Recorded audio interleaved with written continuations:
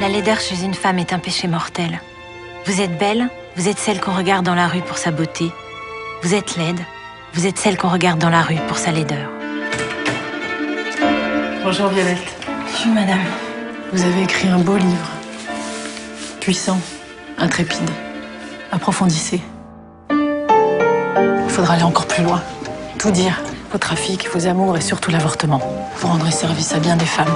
Simone de Beauvoir, bonjour. Il semble que la société française est à la veille de profonds bouleversements qui modifient de manière irréversible le rapport des femmes à la littérature. Voici Violette le Duc dont je vous ai parlé. Jean Genet. Vous êtes le plus grand. Sans blague. Vous savez pourquoi je n'ai pas été éditée dans la collection blanche? Cette couverture est sinistre. Dites-le, qu'est-ce que vous croyez? Il y, en a, il y en a pour Julien Green ici Ne faites pas cette tête, je ne fais que partir, je ne suis pas encore morte. Mais vous revenez quand? J'ai lu La femme et c'est ce que vous avez écrit de plus beau, de plus fort. Mais je ne m'attendais pas à être l'objet de tant d'amour. C'est parce que je suis laide que vous ne m'aimez pas. Je vous demande de sortir de ma vie Mais c'est vous qui m'avez donné cette place dans la vôtre Reprenez votre plume. Vos cris, vos larmes ne vous font pas avancer. L'écriture, oui.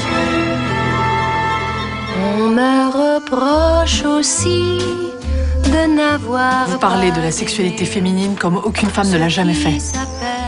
Avec poésie, vérité et plus encore. Un jour, on vous remerciera pour ça. Mais qu'est-ce qu'ils en savent Mon cas n'est pas unique. J'ai peur de mourir et je suis navrée d'être au monde.